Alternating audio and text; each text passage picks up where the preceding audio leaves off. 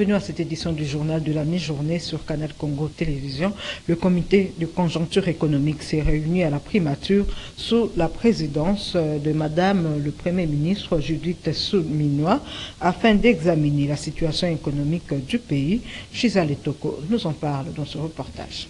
Terminer à stabiliser la monnaie nationale et pallier à l'inflation afin de renforcer et protéger le pouvoir d'achat des citoyens, les membres du comité des conjonctures ont au cours de cette séance de travail examiné la question de la rationalisation et de la régulation des dépenses publiques.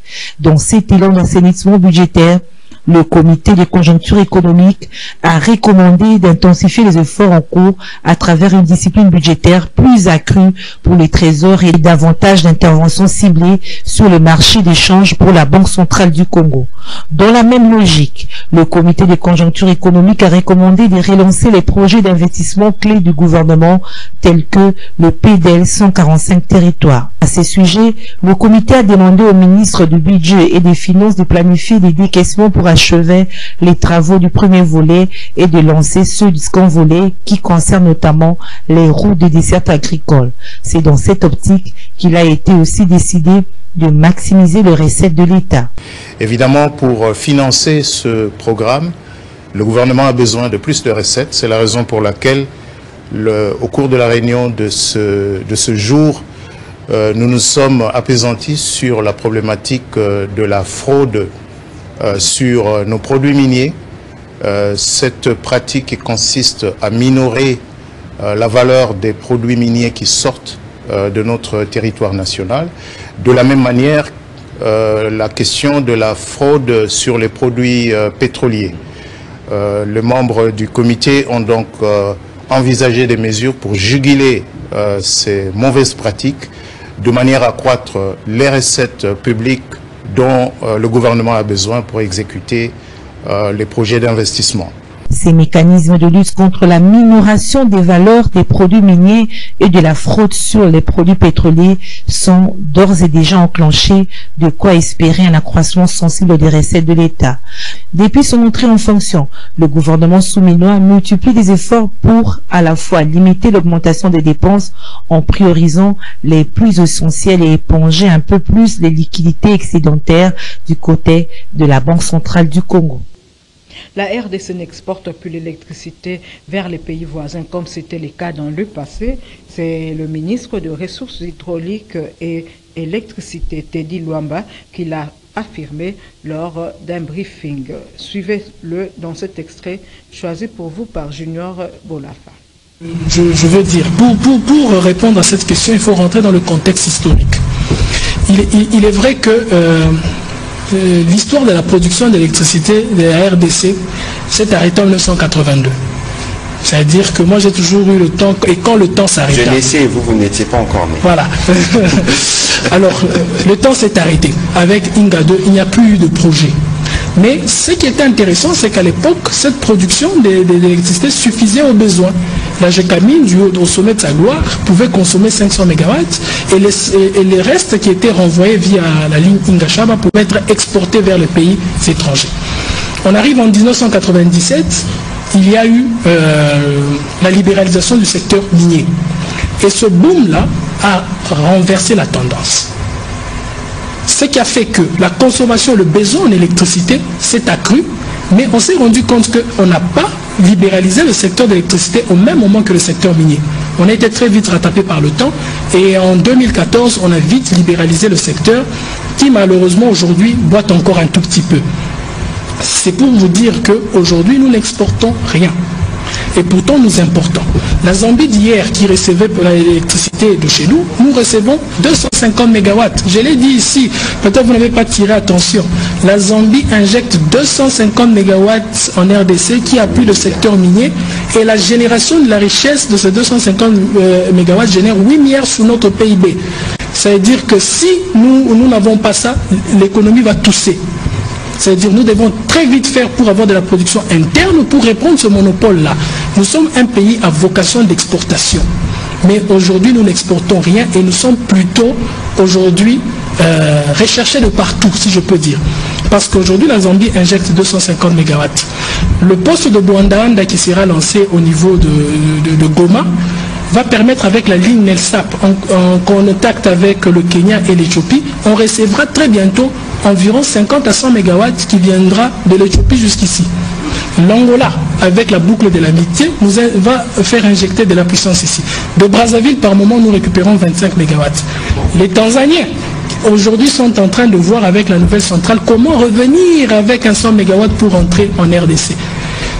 Même la, Centrafrique aujourd'hui nous donne un peu 2 MW avec Zongo, Boali Zongo. Ça veut dire aujourd'hui, tout le monde amène son énergie en RDC. On n'exporte plus rien. Et ça, c'est pour cela qu'il faut, ça doit, faire cet éveil de conscience. Ça doit nous pousser à ce que nous prenions vraiment nos responsabilités pour que nous puissions investir sensiblement dans ce secteur. C'est pour cela que vous m'avez vu, j'ai parlé ici des 9, 9 sites qui vont nous générer 2500 MW qui vont résorber ce déficit.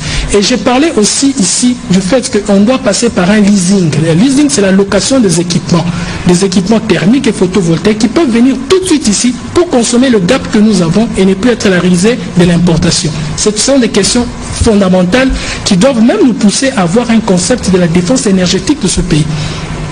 Parce qu'une fois que nous aurons pris plus des, importations, c'est notre économie qui, qui, va dépendre de ces importations. On aura du mal à stopper ça. C'est-à-dire qu'il faudra dès maintenant, ici et maintenant, changer de politique applicable sur le secteur de l'électricité en urgence. Et heureusement que...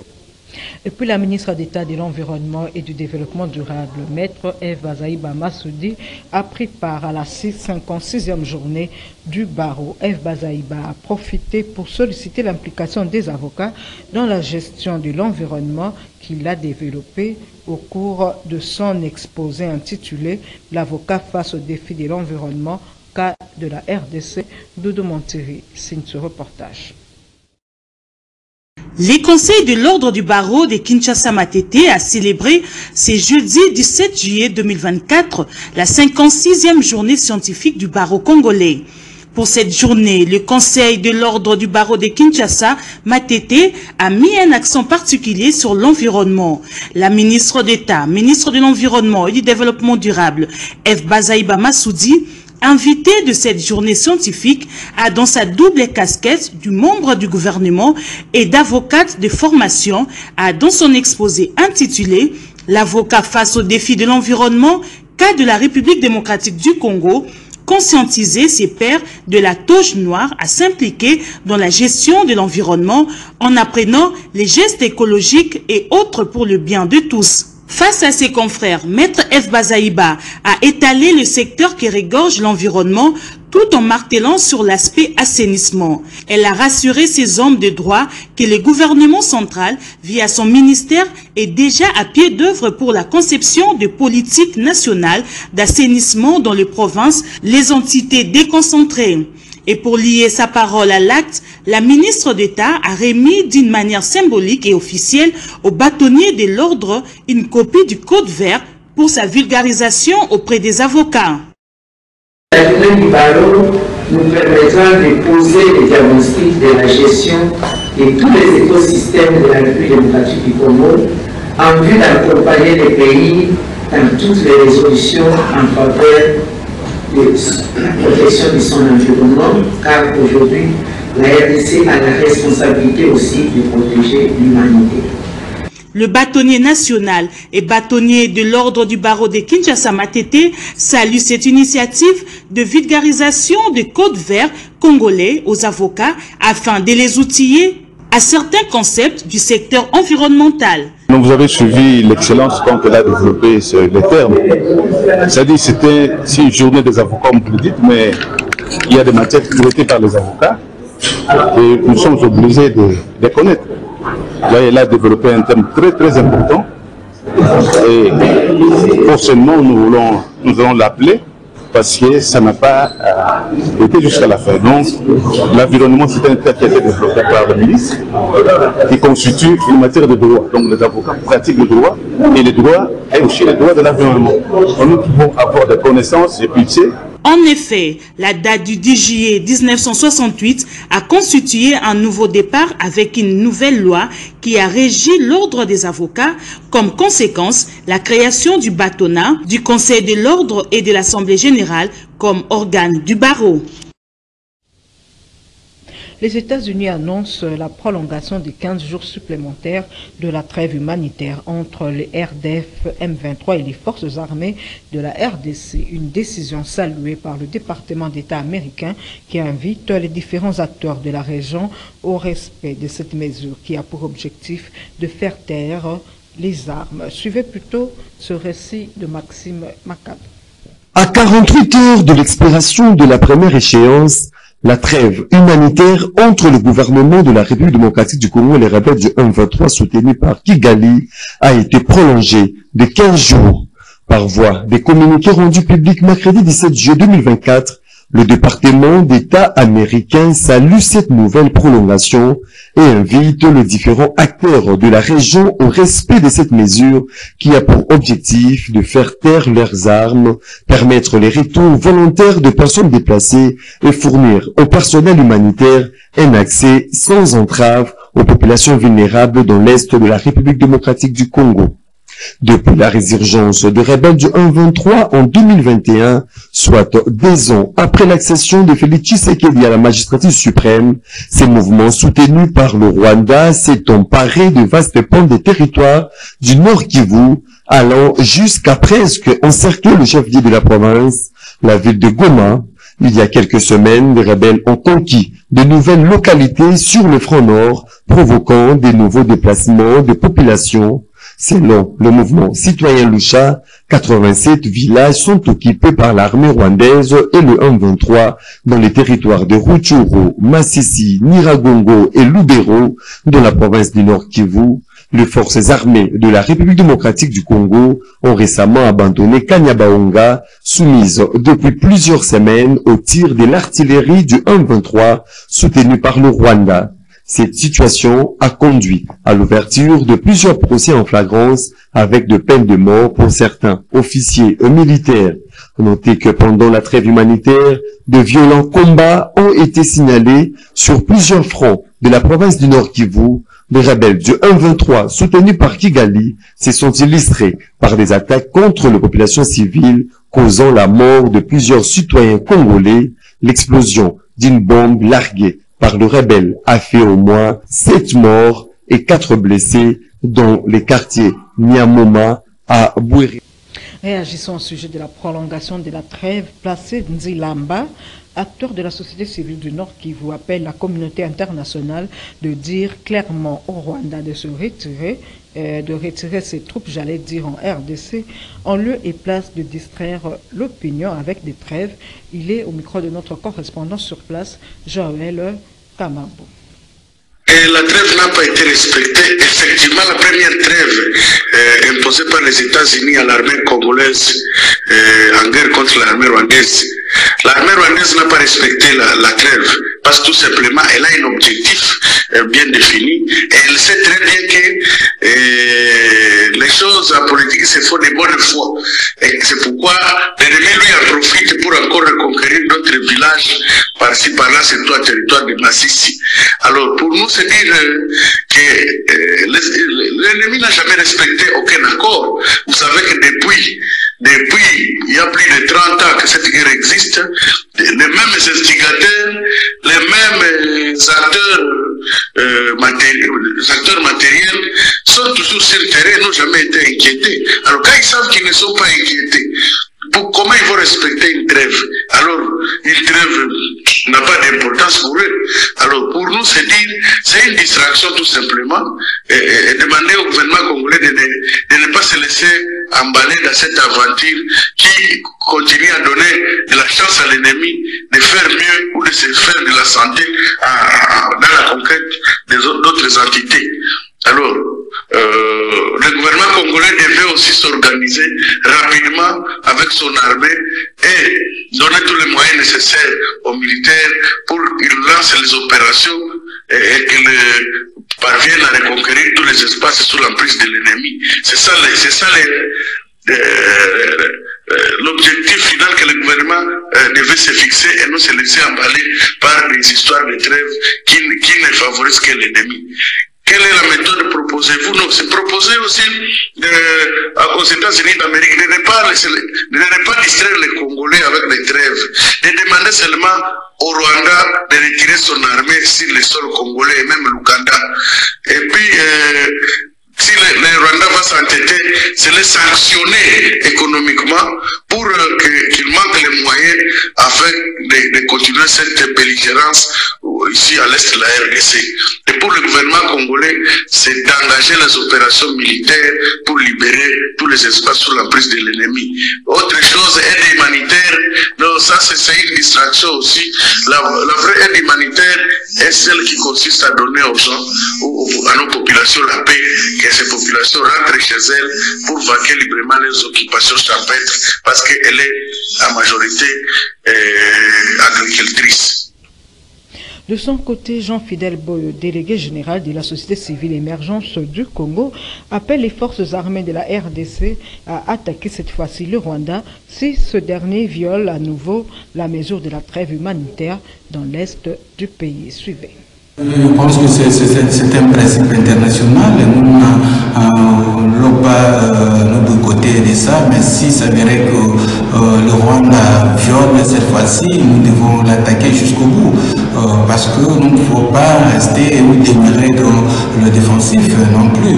En dehors de ça, nous aussi, de notre part, nous devons nous organiser en attendant à ce qu'il y ait l'installation du bureau définitif du Sénat, parce que nous, comme acteurs congolais et acteurs de, des organisations de la société civile, nous allons recommander au chef de l'État de convoquer les congrès du Parlement pour que euh, nous puissions déclarer ouvertement et solennellement euh, la guerre avec euh, le Rwanda. pendant les 15 jours, cela nous permet aussi de nous organiser. Nous estimons que le complot est, tellement jusqu'à tel point qu'on continue à nous affaiblir avec les trahisons en interne, il y a des Congolais qui, font le jet de, de, des Occidentaux, euh, le jet du Rwanda. Ben, nous sommes en train de nous battre jusqu'au bout. Non, c'est pas ça la lecture. Le problème est que de part et d'autre, nous va profiter. L'adversaire profite de ça pour s'organiser. Nous aussi, nous profitons de, ça pour, s'organiser. Et il n'y a pas question de dire qu'on a fait en faveur de, euh, Rwanda, mais il s'avérait indispensable de dire que si cette fois-ci le Rwanda veut, bien, nous allons attaquer euh, sans respecter euh, cette situation de.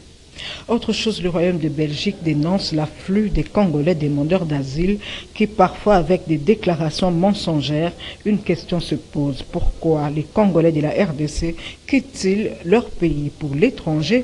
En tout cas, la plupart des Kinois interrogés euh, évoquent la situation sociale qui est peu reluisante au pays. Suivez. Normalement, les gens sont sereins, restent à son bord. Mais quand le bateau commence à tanguer, c'est-à-dire à bouger dans tous les sens. Il y a la panique à bord, même si c'est pas un danger réel, mais le fait qu'il tangue, il y a des gens qui prennent des précautions pour pouvoir mettre leur gilet de sauvetage ou alors euh, sauter dans l'eau pour certains qui n'ont pas bien réfléchi. Mais il s'avère que on est dans un pays, on peut pas dire que tout va bien dans ce pays. On ne peut pas le dire. On sait que chaque jour qui passe, les prix des denrées alimentaires ne cessent d'augmenter. On sait que dans ce pays, dans notre pays, notamment dans la ville de Kinshasa, pour se déplacer, c'est tout un problème. Euh, on sait que dans certains coins de la capitale, dans certains quartiers, presque dans toutes les communes, il y a toujours des coins difficiles euh, où il y a des communes qui menacent les gens. Les gens sont obligés de rentrer chez eux vers 18 heures ou au plus tard 20 heures, etc. Il y a pas mal de problèmes qui se posent à notre vie, dans notre ville, qui peuvent faire en sorte que beaucoup soient tentés, même si c'est pas simplement lié à ça. Beaucoup veulent aller dans des horizons où ils peuvent trouver un emploi, où ils peuvent trouver un peu d'argent pour pouvoir aider leur famille. Euh, je pense que ce sont les raisons des bases qui font que les gens cherchent à aller à l'étranger, notamment en Belgique. La souffrance, nous Congolais on souffre, il y a une souffrance atroce. Aujourd'hui, le pain coûte combien?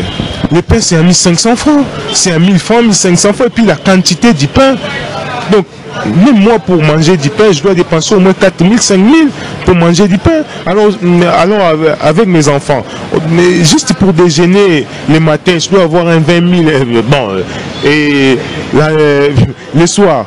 Donc vous arrivez à 50 000, 60 000 la journée.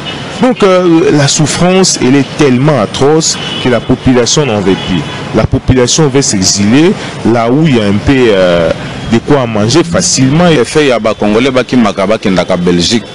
Euh, ce sont des traîtres.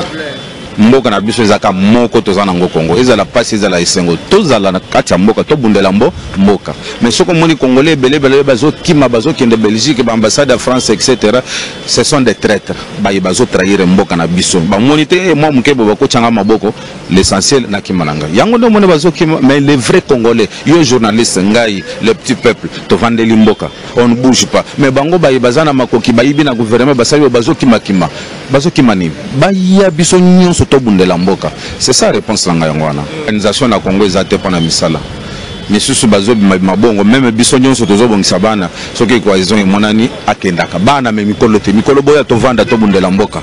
Bana nde baza na makasi akende kosokola basani akende kosokola bibembe asala de n'importe quoi. Azwaka mwa mive mpona kosunga bacongolais mais misala vraiment faci atala sociale misala eza pasi Invitation du procureur général près la Cour des comptes euh, euh, lancée dans le but de dissonner l'inspecteur général des finances, chef de service Jules Alinguete, ses collaborateurs et le directeur général de la GECAMINE. Des réactions ne cessent de tomber à ce sujet. L'acteur politique Ludovic Milambo estime que c'est une démarche biaisée, d'autant plus que la procédure n'a pas été respectée. Il est dit au micro de Junior Boulafa et Lola Kinyam. Je dirais, madame, que la Cour des comptes est compétente à pouvoir auditionner, n'est-ce pas, le chef de service, l'inspecteur général euh, Jules Alinguetti. Mais sauf que c'est un théâtre lorsque vous voyez une invitation lancée par le président près de la Cour des comptes qui n'a pas respecté, n'est-ce pas, la procédure dans son article 179 de la Constitution qui dispose euh, de l'organisation, la composition et le fonctionnement, n'est-ce pas, euh, de la Cour des comptes qui est fixée par une loi organique. Cela veut dire que pour qu'il y ait une invitation, pour qu'il y ait une ouverture de dossier, il faut que le premier président de la Cour des comptes puisse mener une enquête, une investigation ou une mission après euh, avoir constaté une gestion qui va maintenant saisir ou écrire au PGP de la Cour de, de compte pour ouvrir un dossier contre les incriminés. Chose qui a été euh, euh, l'inverse et à, à ces cas-là, nous ne pouvons pas regarder ou rester indifférents par rapport à ce dossier. Nous avons vu que le PG a violé les tests et il doit être révoqué ou il doit démissionner de son poste par rapport à l'article 178 de la Constitution parce que le PG n'a pas manifesté ce qu'on appelle l'expérience dans son domaine. Moi, je pense que c'est un théâtre, cette invitation tombe tabi, l'UGF ne va pas répondre. Mais si le premier président de la Cour des comptes pense qu'il peut mener des enquêtes et des investigations pour écrire au PG afin de déceler Jules Alingueté, en tout cas, nous allons venir. Parce que Jules Alingueté n'est pas intouchable, parce que l'IGF euh, n'est pas aussi intouchable. L'IGF va répondre aux questions et s'il y a des sanctions, l'IGF va répondre aux sanctions. Donc pour l'instant, cette lettre tombe caduque et arrêtez de faire des théâtres Arrêtez de vous attaquer à Jules Alingete. Alingete est là pour faire le travail qu'on a signé par le chef de l'État, celui de, de, de, contrôler. Donc nous allons continuer à contrôler et à faire notre travail parce que les inspecteurs de finances peuvent aussi faire le travail de formateur. Donc ne cherchons pas à théâtraliser des choses, à dramatiser des choses. Donc nous, nous sommes là derrière le chef de l'État et j'appelle la Cour des comptes et l'IGF à fournir les efforts, à travailler en synergie pour répondre aux attentes de la population congolaise, mais aussi aux attentes du chef de l'État. Kivu, les députés nationaux de la ville et territoire de Béni séjournent dans la région afin de s'imprégner de la situation sécuritaire dans la zone, ainsi à travers un meeting populaire organisé dans la cité frontière de Kassindi. Le député Vagumawa a appelé la population à la résistance face à l'agresseur. C'est ce que nous rapporte notre correspondant sur place. Pendant leurs vacances parlementaires, les députés nationaux de la ville et territoire de Béni sont arrivés dans la cité fondée de Kassindi pour échanger avec la population. Le député national, Kampala Moussavouli Eliva Oumawa, rapporté du Congrès des élus nationaux du Nord qui voit rappeler mardi la population qui la région de Bénin reste confrontée à plusieurs défis et le grand défi reste celui du rétablissement de la sécurité. Il a dit lors d'un meeting animé mardi 16 juillet 2024 à Kassindi par c'était des députés nationaux élus de la région de Bénin. Ces derniers rappelé que ce fait électoral reste confronté à plusieurs défis, dont celui du rétablissement de la sécurité, le développement et socio-économique. La foule qui a accueilli les députés nationaux à Kassindi, il a rassuré que les députés nationaux élus du territoire de Béni sont soudés à travailler ensemble pour que la paix revienne à Béni et Loubert. Par ailleurs, l'élu du peuple a profité de cette occasion pour sensibiliser la population au patriotisme de l'amour du pays et à la résistance contre les agresseurs. Durant leur séjour de la région de Béni, les députés nationaux vont échanger avec les autorités militaires et la population pour comprendre à profond les problèmes sécuritaires afin de proposer des pistes de solutions au gouvernement congolais. En sport, euh, les léopards karaté de la RDC ont fait preuve d'abnégation et de la personnalité en ramenant 19 médailles, dont 6 en or, 7 en argent et 6 en bronze lors du championnat d'Afrique région centre organisé au Cameroun à Yaoundé du 13 au 17 juillet 2024. Regardez. Deuxième, sur la place occupée par les léopards karaté de la RDC lors des championnats d'Afrique région centre derrière le Cameroun, pays hôte, tenu du 13 au 14 juillet 2024 à Yaoundé.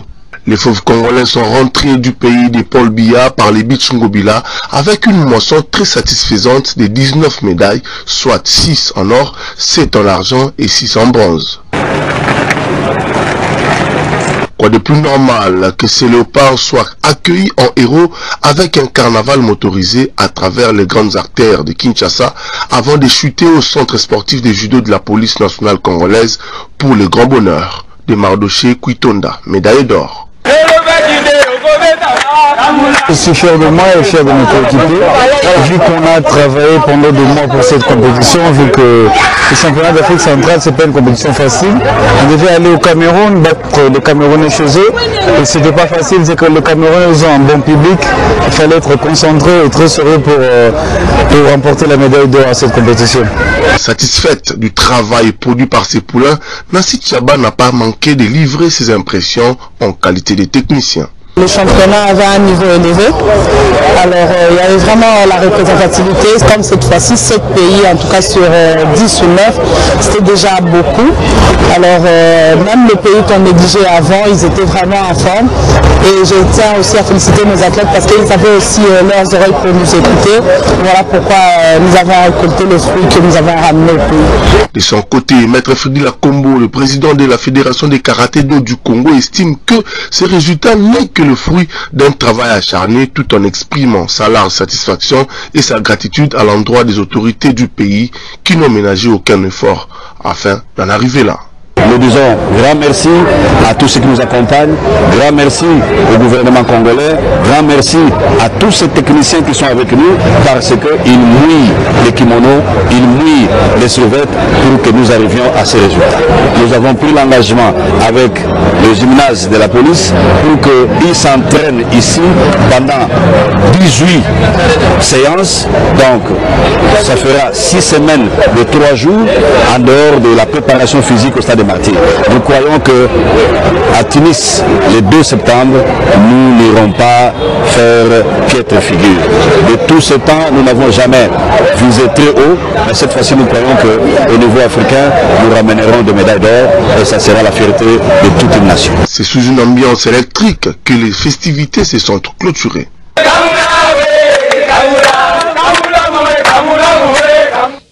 Voilà, c'est par ici que nous bouclons cette édition du journal de la mi-journée sur Canal Congo Télévision. Merci à vous tous de l'avoir suivi.